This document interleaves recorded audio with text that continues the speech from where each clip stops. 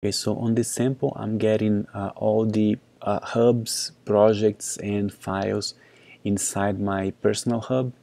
And uh, if I extract this project, I can see some folders and some files. For each file, I have uh, different versions of that file. So this uh, Parcel 3A DWG uh, drawing from Civil 3D, that's the date when this version was created. If I click here, it will open this drawing. As this drawing came from Civil 3D, I can see the information about the, uh, the alignments, for instance, and if I select, let's say I select this alignment and go to properties, I can see general information uh, from the drawing. And uh, here's the interesting piece, I can see uh, sub-entity data from this uh, alignment. And uh, I, if I keep going to the list, I can see that, for instance, there is a curve sub-entity 2 data curve and I can see the length, the radius, direction, chord direction, uh, start and end station.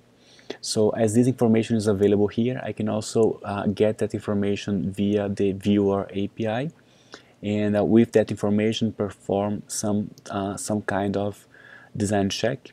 So I created this uh, extension using the uh, data main, sorry, the viewer API to create a toolbar button and when I click on it it's going to create a panel and uh, get all the sub-entity curves sub-entity we uh, there are curves uh, get the radius and compare with a specified uh, uh, default value and say oh this is not approved approved or not. And if I click I can also zoom to that uh, specific one and fit that in the screen so this is a drawing uh, with many different alignments.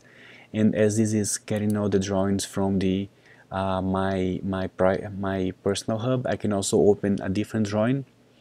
And again uh, it, it, takes some a few moments to open this uh, this toolbar button because it's checking if I have any alignment on this drawing. If I have alignments on the drawing it will uh, show the button. Click here I can see center line left and right alignments this one, uh, I'm assuming this is approved because the radius is uh, more than 1000, so that's just a testing value. And again, if I click on it, it's going to select and fit that on the screen.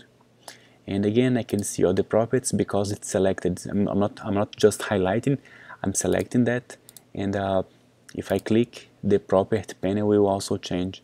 And I can see all the information in here uh, the same idea applies to different types of, of elements on the, on the Civil 3D drawing.